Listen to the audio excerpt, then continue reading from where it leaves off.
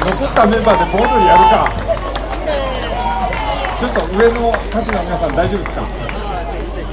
せっかくだから新曲の「道の東京ま」またやってみる？よっしゃじゃあもう一曲だけやろう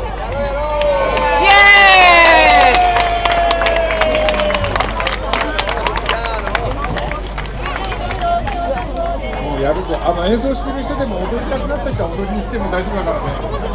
ちらにいると結構ね座っても我慢ならない人は踊りに行ってください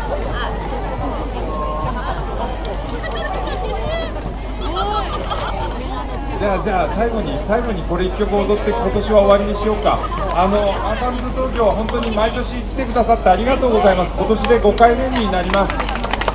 あのスタッフの皆さん、それからこの会場を作ったあのワークショップ、プロジェクト島ワークショップの皆さんにも改めて拍手を、それからあの音響さん、照明さん、えーあと舞台作った人たちがいっぱいいます、みんなにも拍手を。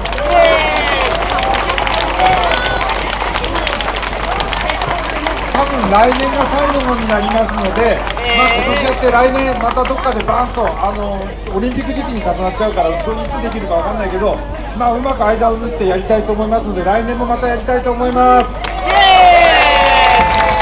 もしかして来年の今頃はこの虹の東京が大ヒットしている予定なのでもうこんな会場じゃ無理でもっと広いとこじゃないと無理かもしれないが本当は東京タワーでやりたいなと思ってますーイエということで東京タワーの皆さんに拍手。あとは昭和33年生まれ61歳東京タワーに拍手。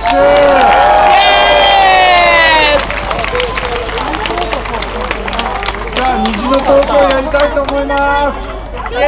ワンツーワンツーせー。の